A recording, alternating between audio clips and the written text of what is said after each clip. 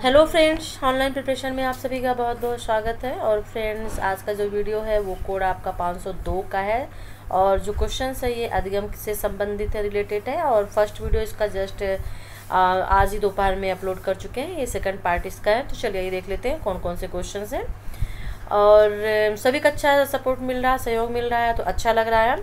और मैंने जस्ट कहा था कि गिस पेपर है तो मैं आपको इसमें टाइम थोड़ा सा देती हूँ कि आप आंसर जो है, वो सेलेक्ट कर लें। पहला क्वेश्चन ले लेती हूँ कि अधिगम का जीवन में क्या योगदान है? तो देखिए, इसका जो फ़र्स्ट ऑप्शन है, वो है जीवन के लक्ष्य को अधिगम के द्वारा प्राप्त किया जाता है। बी है, अधिगम के कमज़ोर होने का अर्थ है जीवन में लक्ष्य हासिल करने से वंचित रह जाना। और सी है, अधिगम से केवल विभिन्न विषयों की समस्याओं का ही हल करना नहीं सीखते, बल्कि जीवन की समस्याओं का भी हल सीख लेते हैं। और जो डी ऑप्शन है, उपयुक्त सभी। क्वेश्चन आपका पूछ रहा है, अधिगम का जीवन में क्या योगदान है? तो देखिए, अधिगम कहती मतलब आपको पता है तो आप बहुत आराम से इसका आंसर सर्च कर लेंगे। अधिगम यानी सीखना होता है। जब हम कोई भी चीज़ सीखते हैं तो जीवन के लक्ष्य को हम प्राप्त कर लेते हैं। तो ए जो है, ये भी राइट आंसर है।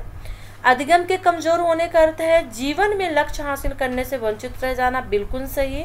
यदि फ़र्स्ट ए और बी यदि आपका ऑप्शन सही जा रहा है और डी में उपयुक्त सभी दिया है और सी में भी कुछ दिया हुआ है तो आपका जो राइट आंसर हो जाएगा वो डी हो जाएगा, ठीक है ना? क्योंकि यदि सी पे ए और बी दिया होता तो ए और बी, ए और बी सही होता। तो यहाँ पे जो आपका राइट आंसर होगा, आप मैंने एक्सप्लेन भी कर दिया और आपने आंसर सेलेक्ट भी कर लिया होगा तो इसका राइट आंसर होगा, वो होगा आपका उपयुक्त सभी, यानी लक्ष्य को प्राप्त करना यदि अधिगम कमज़ोर है तो हम लक्ष्य को प्राप्त नहीं कर पाएँगे, यदि हम कुछ चीज़ें सीख नहीं पाएँगे, और हम उस लक्ष्य को कैसे प्राप्त कर पाएँगे जिसे हम करना चाह रहे हैं। और अधिगम से केवल विभिन्न विषयों की समस्याओं का ही हल करना नहीं होता, बल्कि सीखते भी हैं, यही अधिगम कहलाता है। तो इसका जो राइट आंसर होगा, वो होगा डी नेक्स्ट क्वेश्चन देख लेते हैं। किस विधि की मदद से एक शिक्षक एक विशेष घटना से सामान्यकृत निष्कर्ष पर पहुँचता है? अब इसका आंसर आपको देना है। मतलब कि एक शिक्षक है, उसकी एक विधि बताना है जिसकी मदद से वह किसी घटना से सामान्यकृत निष्कर्ष पर पहुँचता है। तो आंसर आपके सामने है और आप किस कर लीजिए। आगमन विधि, प्रदर्शन विधि, व्याख्यान विधि, उपयुक्त तीनों। तो देखिए, इसमें से एक विधि जो होती है शिक्षक के लिए होती है और वो विधि होती है आपकी आगमन विधि। ठीक है ना? प्रदर्शन विधि और व्याख्यान विधि जो होती है छात्र के लिए होती है। आगमन विधि जो होती है, टीचर के लिए होती है। और निगमन विधि जो होती है, जस्ट आगमन विधि के अपोजिट होती है, यानी सामान्यकृत से घटना की ओर की ओर जाती है, ठीक है? नेक्स्ट क्वेश्चन ले लेते हैं। चलिए कि शिक्षार्थी केंद्रित अधिगम में अनुशासन की स्थिति क्या होती है? ठीक है ना? शिक्षार्थी केंद्रित अधिगम जो होता है सीख, सीखने का, उसमें अनुशासन की स्थिति क्या होती है? तो ऑप्शन देख लीजिए। ए साझा, सक्रिय भागीदारी, और बी लादा गया सी स्वनियंत्रित और डी उपयुक्त तीनों। तो देखिए, शिक्षार्थी केंद्रित जो अधिगम, दो तरह के अधिगम होते हैं। एक शिक्षा शिक्षक केंद्रित अधिगम होता है और एक शिक्षार्थी या फिर छात्र केंद्रित अधिगम जिसे कहते हैं। ठीक है ना?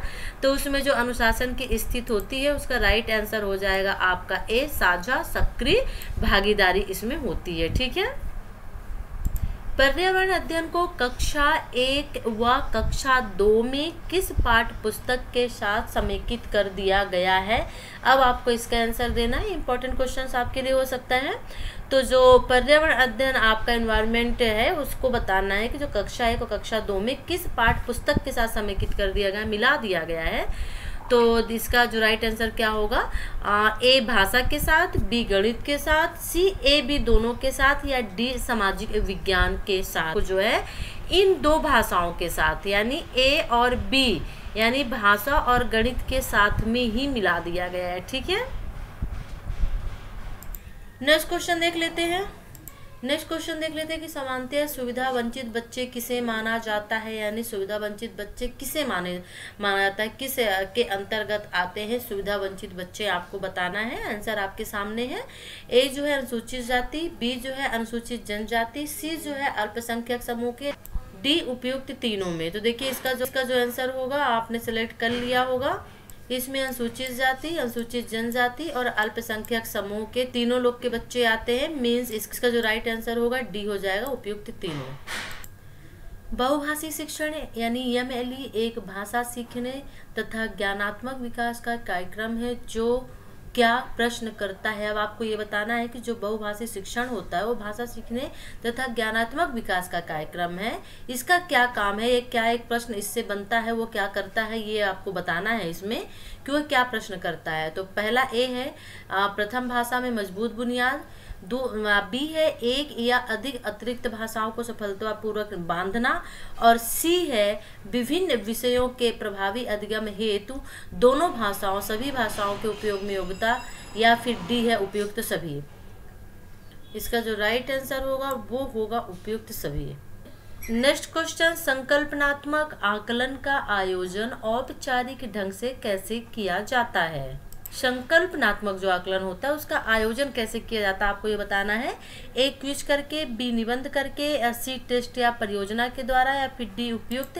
तो देखिए, जो संकल्पनात्मक आकलन होता है, उसमें आपका क्विज भी होता है और निबंध भी होता है और टेस्ट या परियोजना भी होती है। मतलब उपयुक्त सभी जो है, इसके राइट आंसर हो जाएगा। ठीक है ना? तो क्या होगा? उपयुक्त सभी जो है, इसका राइट आंसर हो जाएगा।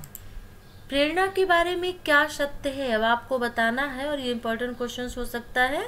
तो देखिए प्रेरणा के बारे में क्या सत्य है? ए ऑप्शन है, प्रेरणा एक आंतरिक बल है। बी आंतरिक प्रेरणा से रुचि व आनंद स्वतः उत्पन्न होते हैं।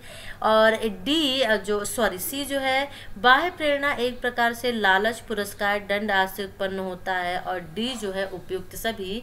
तो देखिए, जो इसका राइट आंसर होगा, क्या होगा? तो आपने आंसर सेलेक्ट कर लिया होगा। देखिए ए जो है, प्रेरणा एक आंतरिक बल है, बिल्कुल सही है। बी भी सही है, क्योंकि आंतरिक प्रेरणा से रुचि व आनंद स्वतः उत्पन्न होते हैं, और सी भी सही है तो डी इसका राइट आंसर हो जाएगा। नेक्स्ट क्वेश्चन बैंकिंग शिक्षा किस उपागम का उदाहरण है, आपको बताना है, और बहुत इजी इसका आंसर है। ए है आपका अध्यापक केंद्रित, बी है आपका विषय वस्तु केंद्रित और सी है अध्येता केंद्रित और डी है उपयुक्त में से कोई नहीं।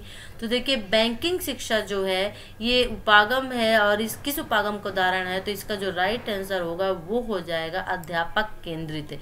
जो अध्यापक केंद्रित शिक्षा होती है, उसी का उदाहरण है बैंकिंग शिक्षा।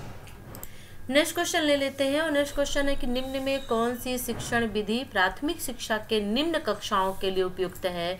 यानी जो नीचे ऑप्शन दिए हुए, इनमें से आपको बताना है कि ऐसी कौन सी विधि है जो प्राथमिक शिक्षा के लिए निम्न कक्षाएँ जो होती हैं, उनके लिए सही होती है? ऑप्शन है निगमन विधि और बी है आगमन विधि सी है खेल कूद विधि और डी है उपयुक्त तीनों। तो इसका जो राइट आंसर होगा, आपने सेलेक्ट कर लिया होगा। प्राथमिक शिक्षा के जो निम्न कक्षाएँ होती हैं प्राथमिक शिक्षा में, उनके लिए कौन सी विधि ज़्यादा अच्छी होगी? तो इसका जो राइट आंसर होगा, वो होगा निगमन विधि। नेक्स्ट क्वेश्चन विकासात्मक पाठ्यक्रम किस प्रकार की अधिगम की विशेषता है? जो विकासात्मक पाठ्यक्रम है, वो किस प्रकार की अधिगम की विशेषता है आपको बताना है? ए अध्यापक केंद्रित बी शिक्षार्थी केंद्रित सी अधिगम केंद्रित और डी पाठ केंद्रित। तो देखिए, जो विकासात्मक पाठ्यक्रम होता है, वो आपका जो है शिक्षार्थी केंद्रित अधिगम के अंतर्गत आता है, ठीक है?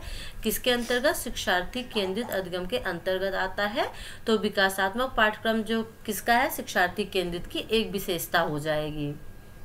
फ्रेंड्स नेक्स्ट क्वेश्चन ले लेते हैं। शिक्षा के अधिकार कानून 2009 के अनुसार, यानी शिक्षा का जो अधिकार अधिनियम 2009 था, उसके अनुसार कक्षा एक से पाँच के लिए प्रत्येक शैक्षणिक सत्र में 800 अनुदेशात्मक अवधि, जबकि कक्षा छः से आठ तक के लिए कितनी अवधि निर्धारित है? क्वेश्चन को समझिएगा। क्वेश्चन ये पूछ रहा है आपसे कि जो शिक्षा का अधिकार अधिनियम 2009 था, उसमें प्राइमरी लेवल के जो टीचर थे, उन लोगों के लिए, यानी कक्षा एक से पाँच तक के लिए जो शैक्षणिक आपका सत्र चलता है, उसमें 800 अनुदेशनात्मक अवधि रखी गई थी टीचर के लिए। और कक्षा छः से आठ तक के लिए कितनी अवधि रखी गई, निर्धारित की गई है, ये आपको बताना है। और मुझे आई थिंक ऐसा लग रहा है कि इसका मैंने वीडियो एक बनाया था, उसमें एक क्वेश्चन था और मैंने आपको बताया तो फ़र्स्ट ऑप्शन आपका है एक हज़ार और जो बी ऑप्शन है वो है बारह सौ सी ऑप्शन है चौदह सौ और डी ऑप्शन है पंद्रह सौ। तो इसका राइट आंसर आपने सेलेक्ट कर लिया होगा फ्रेंड्स चलिए बता देते हैं, इसका जो राइट आंसर होगा वो होगा ए एक हज़ार। नेक्स्ट क्वेश्चन ले लेते हैं, खोज अधिगम विधि के जन्मदाता वर्नर है और यह विधि के सिद्धांतों पर आधारित है। आपको बताना है कि जो खोज अधिगम है, इसके विधि के जन्मदाता वर्नर है और यह विधि किन सिद्धांतों पर आधारित है। तो फ्रेंड्स है इसका ऑप्शन देख लेते हैं। ए है सक्रियता का सिद्धांत, बी है तर्कपूर्ण चिंतन का सिद्धांत, सी है ज्ञान से अज्ञात की ओर जाने का सिद्धांत और डी है उपयुक्त सभी। तो देखिए सबसे इससे दो क्वेश्चन बनना है खोज अधिगम विधि के जन्मदाता कौन है तो ये भी याद रखिएगा वर्नर है और फिर इसका आंसर आपने सेलेक्ट कर ही लिया होगा। कि ये विधि किन सिद्धांतों पर आधारित है? तो इस, इसका जो ऑप्शन है वो होगा डी यानी उपयुक्त सभी। यानी खोज, अधिगम, विधि जो है वह सक्रियता का सिद्धांत, तर्कपूर्ण चिंतन का सिद्धांत और ज्ञात से अज्ञात की ओर जाने के सिद्धांत, इन तीनों सिद्धांतों पर आधारित है। तो क्वेश्चन यदि पूछता है कि खोज, अधिगम, विधि के सिद्धांत कौन कौन से हैं लिखिए तो आपको यही लिखना होगा। सक्रियता का सिद्धांत, तर्कपूर्ण चिंतन का सिद्धांत, ज्ञात से अज्ञात की ओर जाने का सिद्धांत। ठीक है ना? खोज, अधिगम, विधि के सिद्धांत है। चलिए नेक्स्ट क्वेश्चन ले लेते हैं कि इकाई परीक्षा के बारे में क्या सत्य है? अब आपको ये बताना है क्या सत्य है। ऑप्शन आपके सामने है। ए, यह एक प्रकार का रचनात्मक आकलन है। बी, विद्यार्थियों को कठिनाई पहचानने में मदद करता है। सी, वैकल्पिक पाठ्य योजना बनाने में मदद करता है। और डी, उपयुक्त सभी। तो देखिए, इकाई परीक्षण क्या है? इकाई परीक्षा, इकाई परीक्षण या फिर यूनिट टेस्ट, इसके बारे में हम आपको बता चुके हैं। तो देखिए, यह एक प्रकार का रचनात्मक आकलन है। बिल्कुल सही है। यानी जो जिसे हम एफ़ वगैरह कहते हैं, ये इकाई परीक्षा इसी को तो बोलते हैं तो रचनात्मक आकलन के अंतर्गत ही आता है। और ये आपके जो पाठ योजना बनाते हैं लेसन प्लान उसमें भी है। विद्यार्थियों को कठिनाई पहचानने में मदद करता है, ये भी बिल्कुल सही है। वैकल्पिक पाठ योजना बनाने में मदद करता है, ये भी सही है। तो जो इसका आंसर क्या होगा अब आप समझ गए होंगे। कि इसका राइट जो आंसर होगा, वो डी होगा, यानी उपयुक्त सभी। ठीक है ना? तो इकाई परीक्षण के बारे में अगर पूछता है कि इकाई परीक्षण क्या है तो आप आराम से लिख सकते हैं कि यह एक प्रकार का रचनात्मक आकलन है और जिससे विद्यार्थियों को कठिनाई पहचानने में मदद होती है और वैकल्पिक पाठ योजना बनाने में भी इकाई परीक्षा से मदद मिलती है। इतना भी लिख देंगे तो आपको मार्क्स आराम से मिल जाएँगे। ठीक है? चलिए नेक्स्ट क्वेश्चन देख लेते हैं। नेक्स्ट क्वेश्चन देख लेते हैं। पियाजे के अनुसार अहम केंद्रित विचार की सन्निकट आयु क्या है? यानी पियाजे ने कितने तरह के विचार दिए थे जो उनके पियाजे का संज्ञानात्मक विकास का जो सिद्धांत है उसके अंतर्गत ये आता है और हर बार हम आपको हर वीडियो में कहते हैं कि आपके लिए वेरी इंपॉर्टेंट है। तो देखिए, इसमें जो पूछा है कि अहम केंद्रित जो विचार होता है, यानी इनकी आयु दिया हुआ संज्ञानात्मक विकास में, दो से सात वर्ष, सात से ग्यारह वर्ष, ग्यारह से पंद्रह और पंद्रह से अठारह, ये पियाजे के संज्ञानात्मक विकास की अवस्थाएँ हैं। ये आप याद कर लीजिए। तो इसमें पूछा है कि इन अवस्थाओं में से अहम केंद्रित विचार किस अवस्था में आता है? तो आप आंसर जो है गेस कर चुके होंगे। चलिए मैं इसका राइट आंसर बता देती हूँ। उसका राइट आंसर ए होगा दो से सात वर्ष। यानी दो से सात वर्ष के बीच में अहम केंद्रित विचार जो है वो बच्चों के मन में आता है। ठीक है ना? नेक्स्ट क्वेश्चन देख लेते हैं कि शिक्षा का अधिकार अधिनियम 2009 किस भाग में, यानी शिक्षा का जो अधिकार अधिनियम 2009 है, उसके किस भाग में किसी बालक को शारीरिक दंड या मानसिक उत्पीड़न उत्पीड़न नहीं किया जाएगा? की चर्चा की गई। अब आपको भाग बताना है यहाँ पे। तो ये भी याद रखिएगा, शिक्षा का अधिकार 2009 है, उसके अंतर्गत है। और क्वेश्चन क्या है? किसी बालक को शारीरिक दंड या मानसिक उत्पीड़न नहीं किया जाएगा।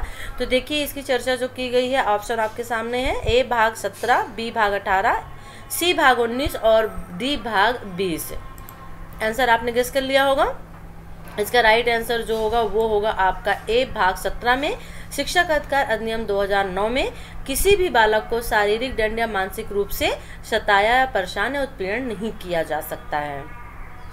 तो फ्रेंड्स, कैसा लगा ये वीडियो ज़रूर बताइएगा। वीडियो को लाइक तो करिए ही, लेकिन साथ में शेयर भी करिएगा। और हमारा जो नेक्स्ट वीडियो होगा, वो होगा आपका 502 अधिगम के ही जो मेन इंपॉर्टेंट क्वेश्चन हैं, वो लेके आएँगे हम पार्ट थ्री में। यदि आपने हमारे चैनल को सब्सक्राइब नहीं किया है तो प्लीज़ सबसे पहले इसको आप सब्सक्राइब कर लीजिए। और चलिए फिर नेक्स्ट वीडियो के साथ फिर मिलते हैं, फिर हाजिर होते हैं, तब तक के लिए टेक केयर बाय शुभ रात्रि